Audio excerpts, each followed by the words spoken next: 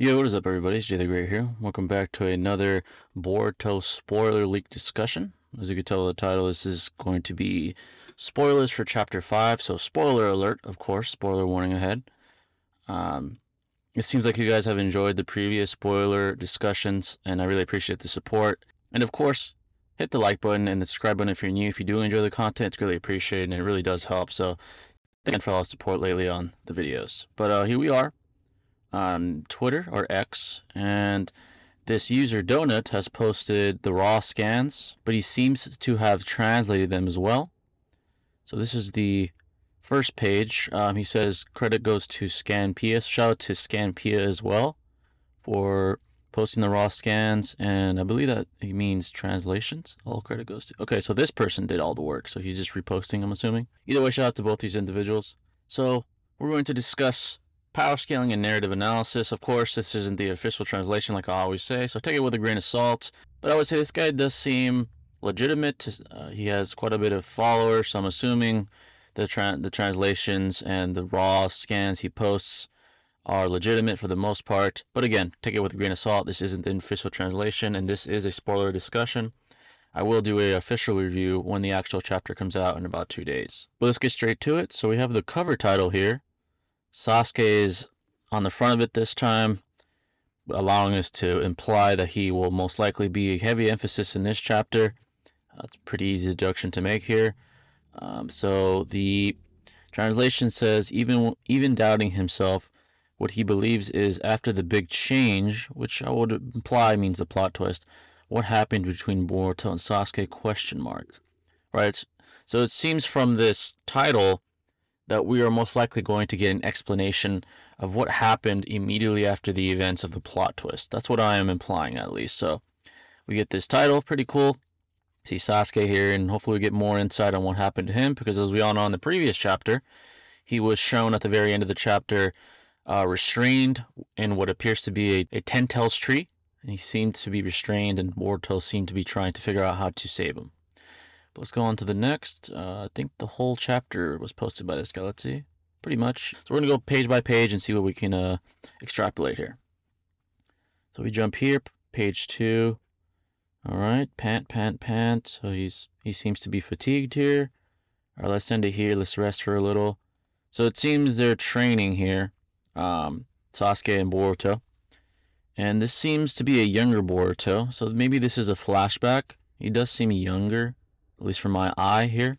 He has long hair, so it seems like some time has passed since the plot twist events as well. So this just shows what appears to be a training session between Boruto and Sasuke. Cool stuff. Let's go on to the next page.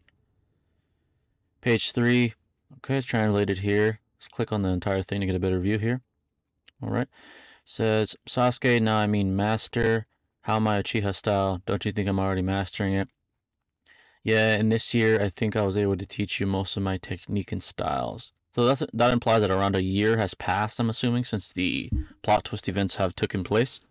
And he's been teaching him his techniques and styles, and Sasuke iterates that it seems he's he's learned most of them. Uh, Boruto has, rather.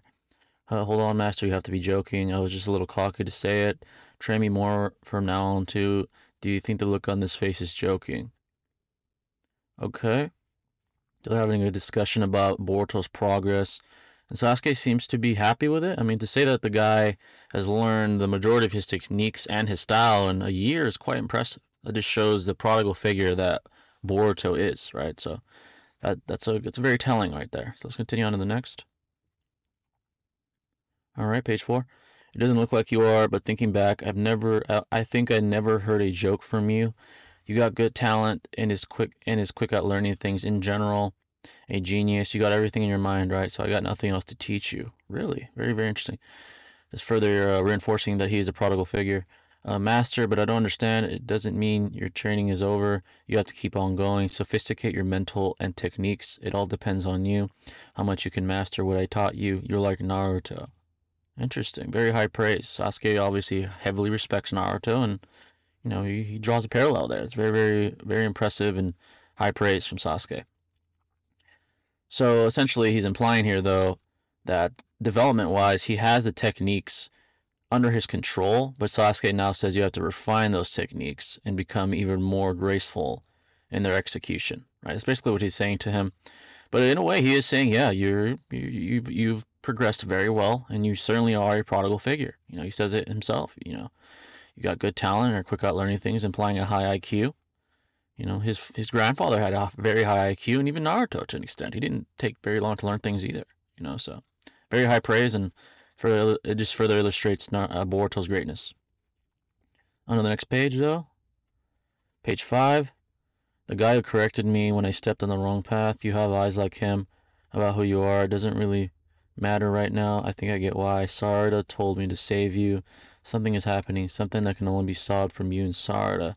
That's what my feelings are telling me. That's why I trained you.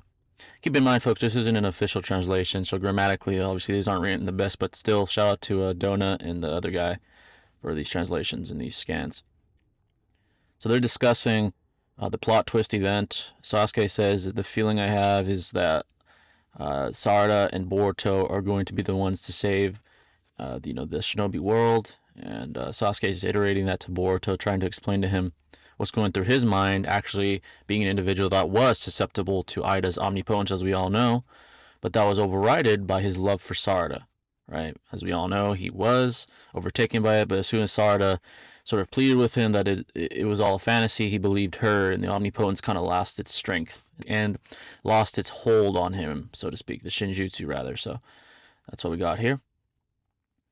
Damn, Uchiha, you, how dare you, got my eyes. Interesting. Uh, what are you doing, Boruto? Hurry, run. I can't leave my master. What are you saying? Alright, so this seems definitely to be a prequel, because as we all know, in chapter 3 and 4, we see Boruto have utter domination over Code, implying at this point in time he still isn't at that level to be able to go against someone of Code's caliber.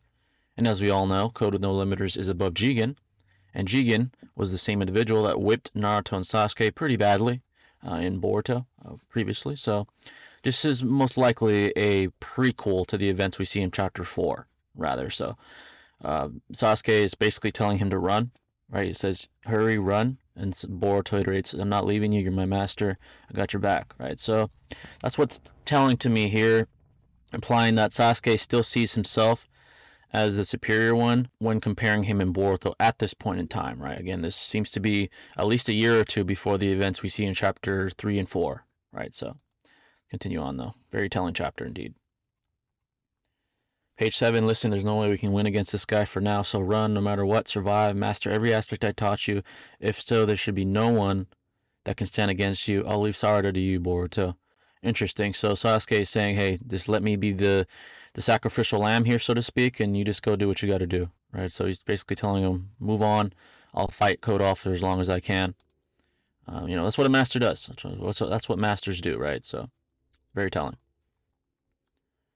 All right, page 8, die, Master. Okay, so Boruto is watching Code fight Sasuke here. Sasuke seems to be going in with uh, a lightning variation technique.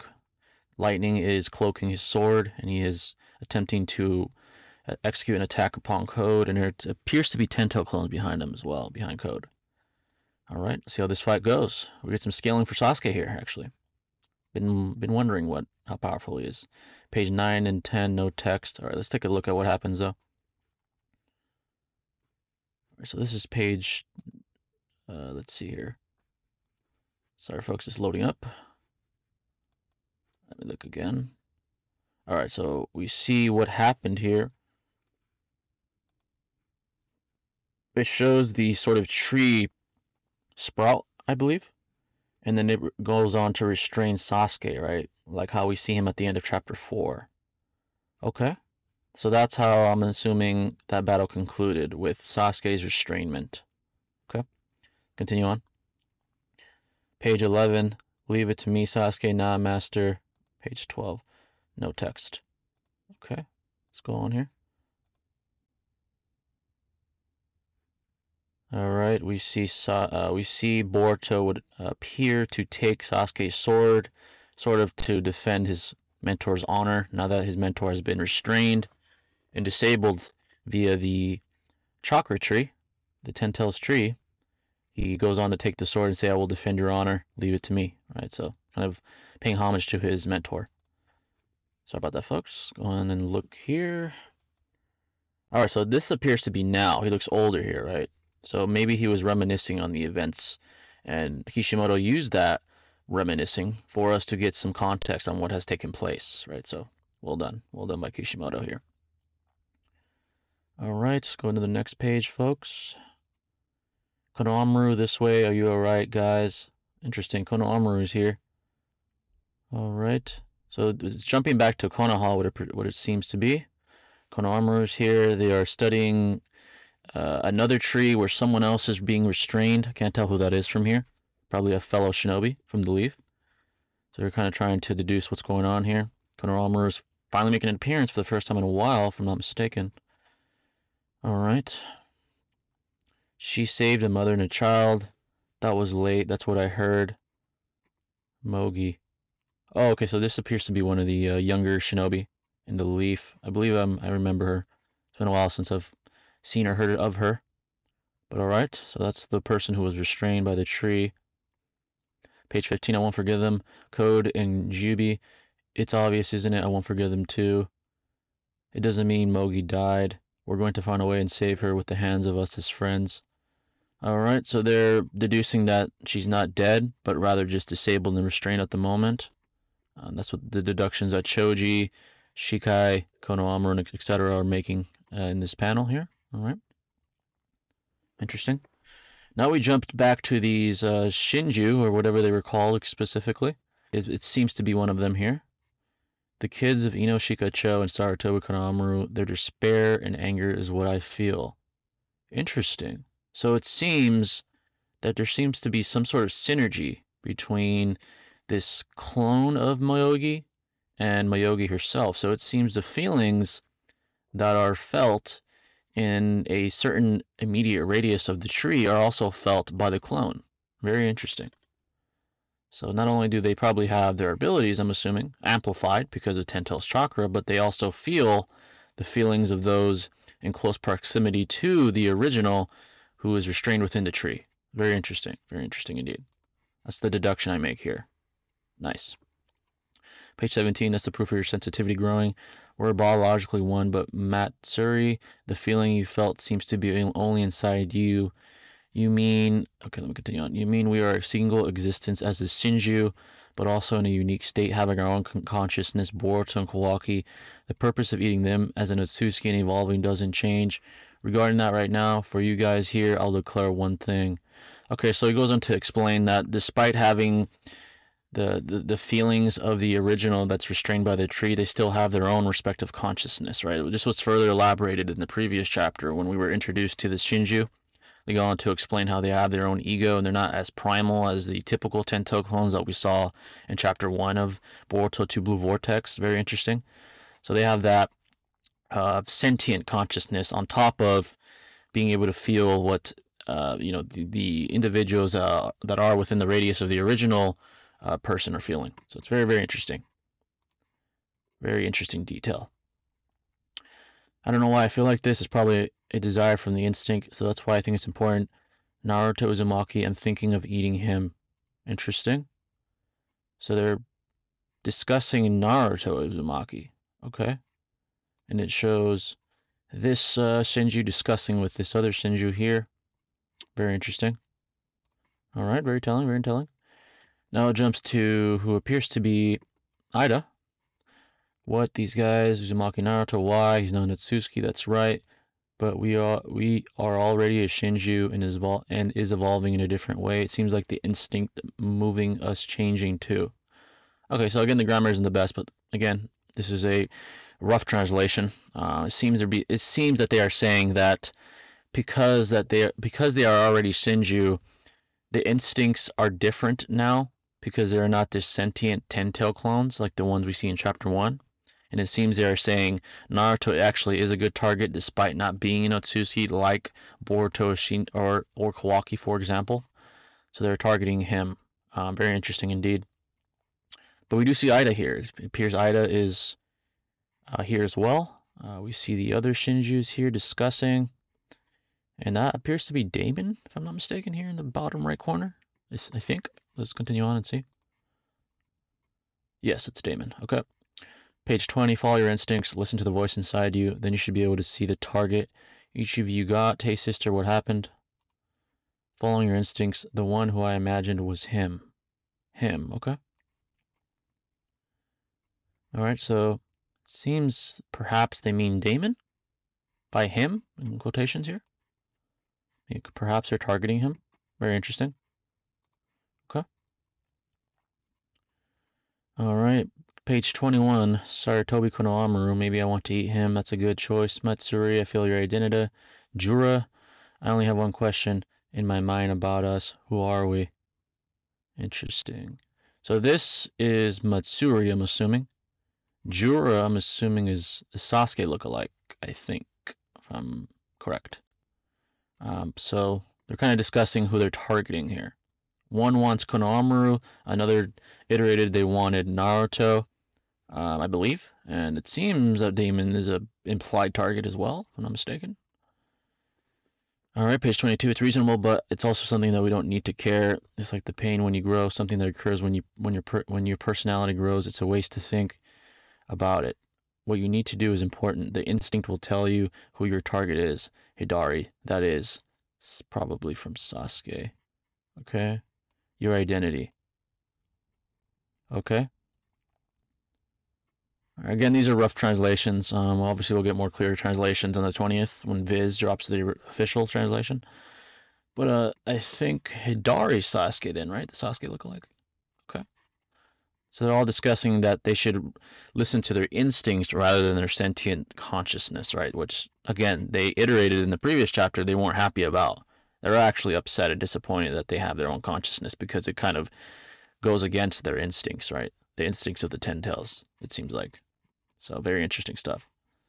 All right, page 23. The people who turned into a tree for, uh, being eaten from a claw grime, their chakra gave, gave birth to these guys. Uh, standing up and walking. Okay. I'm watching Eida. I got it. My target is you. So Eida's a target. His target, I'm assuming. Interesting. They seem to be seeing each other, I believe. Let me see. Go to the next page here. Okay. So they're having an interaction here. Interesting. She seems to be kind of shocked, a little shocked by his appearance and by the fact that he's now in her proximity. Page 25. Hey, are you alright? Yuck. Senragon, I see Uchiha Sarada. My target is Uchiha Sarada. Okay. Let's see here what's taking place. Sorry for the lag, folks. Alright, so Daemon and Eida discussing. Okay, next page here. And I believe he is iterating that Sarada is his target. I believe. I'm not mistaken. Okay, so this appears to be, uh, the previous page rather, appears to be possibly in her consciousness where she's seeing uh, that Shinju. I'm assuming. Seems to be the case. Here, I mean. Perhaps in her consciousness, they're having some sort of mental communication or something like that. So it seems to be perceived here. Moving on to the next. All right. Page 27, page 28, good choice. Okay, so we see Amato here, what appears to be. What is it? Kakekun Boruto came back. It's been three years since he left. It seems like it. I also heard he protected the Hidden Leaf from Ko's ambush. Yes, but he is still chased from the Hidden Leaf. Okay. So it jumps to Amato and Sumire, I believe that is. Okay, they're discussing Boruto and his whereabouts and what's taken place uh, recently. Very interesting. He went from the leader. That's an he went for the leader. That's an obvious result. I've added the data of Akebi and Kawaki's restored karma Kawaki just has to engrave the karma to a new clone and the girl. Okay, where was I at? Uh, we'll be back. You're going easy. Aren't you in trouble if Boruto gets killed? For your daughter, you were waiting him for him to come back, right? I let him escape from Kara, teamed up with Kashi and Koji in order to defeat Ishiki. Interesting. I've added to the data of Akebi to Kawaki's restored karma. It seems that despite the karma already being put upon Kawaki, Amato could still modify it. He says, I've added data of Akebi to Kawaki's restored karma. Kawaki just has to engrave the karma to a new clone, and the girl will be back. Interesting. Okay. Very interesting revelation there. That just shows Amato's genius. I mean, the guy made cyborgs relative to Sasuke and Naruto, so I mean, to some extent, it's extremely impressive. I'm not surprised what this guy's capable of at this point. Nothing really surprises me now. I'm sure most of you guys can relate with that one. Uh, page 30, after Ishiki died, I put my daughter's data when regenerating Boruto's karma that disappeared. To bring back someone's soul, there's no other way uh, other than resurrecting it with the karma. That's why I need Boruto. Isn't that what you want to say, Kai-kun? Kai-K-kun, rather. Speaking about Kawaki-kun, who has a karma, his body is a scientific ninja tool. But when and who modified his body like that, the point is nobody knows about it. The fact is that the body is obviously modified from my hands. Alright, so perhaps he's hiding something here by saying that no one knows about it, and perhaps he's implying that he has more control over these karmas than than meets the eye. It's a very uh, interesting possible foreshadowing right there. Very, very, very possible foreshadowing that just took place here. Again, the motto is a genius. He is a genius after all. Page 31. Why? How can you know that? It can only be done by me. There are signs I can see that is done for me in many places. It's my instinct as a scientist. Like how artists leaves proves that the job is from them. The same that could be said to the karma. I can distinguish it with the look if it was done by me. Somewhere, somehow Kawaki has it in his hand, the special karma that I put Akebi inside. Okay? So he's he's basically indicating that despite him replicating synthetically the karma, there are distinct traits that make it indicative that he made the karma and that it's not an organic karma. It's basically what he's saying. And because he is such a, a, prolific scientist, he can just, from his very eye, deduce whether or not the karma was made by his hand. Very interesting. It just further implies to me that he has some sort of motive here. Obviously, his daughter is of very is of great importance to him, enough for him to work with the leaf, to deal with Ishiki. Um, so yeah, just take that with a with a grain of salt. You know, take what what he's saying as some sort of foreshadowing. That's how I perceive it, at least. Um, perhaps he has some more uh, tricks up his sleeve in case Kawaki doesn't bend to his will, for example, and uh, at least willfully. Page 32. There are controversy in my memory, but with the proofs we have in front of us, the answer is obvious. Probably part of my memory is overwritten. That's the only conclusion I can come up with. First of all, memories are just a vague phantom for me as a scientist, there's nothing that beats actual proofs. Interesting. So this sort of implies to us, the reader, that Amato is suspicious of the omnipotent jutsu. Obviously, he's not deducing exactly what did it, but he is suspicious that something, in fact, did warp his memories, possibly, and that nothing beats actual physical blatant proof. Right, as we all know, even in the real world, the scientific method is very dependent upon experiments and results. Right? Hypotheses are just mere hypotheses. Right? But actual results via experimentation gives you more blatant proof and more solid proof, right, to reinforce your claims. So it's basically that's the conclusion he's coming to here. And because of his high intelligence, he's able to deduce that something just isn't right even within his own mind. He's aware of the very deception that probably took place within his very own mind, which is actually very impressive quite the intellectual feat, right? So, and then like Sasuke, it wasn't due to love or due to feelings for their daughter. This was just pure intelligence, right? So it's very, very impressive that he did that.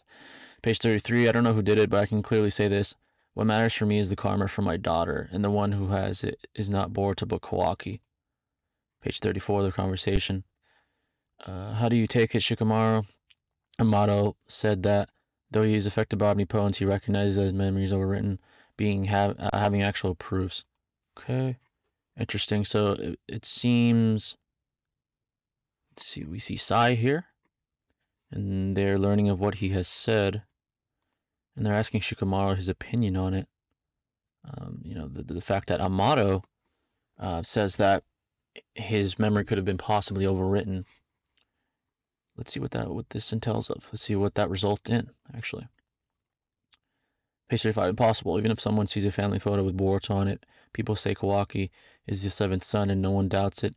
Everyone believes in their own memory, no matter Uh, how much proof we have? If you have a crisp memory, no one will usually doubt it. Yeah, usually, but Papa did. Interesting. So Sumire and Sarada are discussing. Um, so Sumire is basically re reiterating that despite these physical proofs, people tend to default to their own memory as the holy truth, right? So Sumire is kind of iterating that despite Amato's suspicions, it's going to be hard to prove to the others that uh, their memories could have been possibly warped by some other outside force, right? And uh, that seems to be the case. Shikamaru doesn't want to even listen to it. Uh, Sai and the others in Konoha aren't willing to listen to Sarda, which has been displayed several times in to Blue Vortex already. So, very interesting. All right, go to chapter 30, uh, page 36 rather. Sasuke now my master trusted me. Okay, so it jumps to Boruto here. Seems that he has made his appearance. Okay. All right, we're on page 36. Lost my uh, location for a second. All right, so we saw him, uh, Boruto make his appearance. Doubting his memories, he used his life to save me. All right, so he seems to be uh, revealing to Sarada what took place with Sasuke. To Sarda. Uh, also for you, Sarda. Interesting. It seems he's going on to hug Sarda. Or Sarda hugged him, rather, it seems like, actually. No text. Interesting. Sarda clearly has missed Boruto, being gone that, uh, several years now. You're late, stupid Boruto. They still seem to have that dichotomy between each other that we saw early in Boruto. Feel good moment, right? Page 41. Sorry, I'm now home. The hug is a proof of memories that never changes. Boruto's back with the with the behalf of his master. All right, so it appears that's where the conclusion seems to be. All right, and there you guys have it. That's the spoiler rough translation of chapter 5, Boruto 2 Blue Vortex. Pretty solid chapter. It was obviously sort of a revealment chapter for us, and as I'm sure many of you can relate, we're all wondering, you know, I was wondering what happened to Sasuke and what the context was behind uh, his current situation, and why he was restrained by the tree that he's currently being restrained by. So we got a backstory to that, and we got a sort of flashback moment through Boruto's reminiscing, where we get an explanation of why Sasuke is in the current situation that he is in.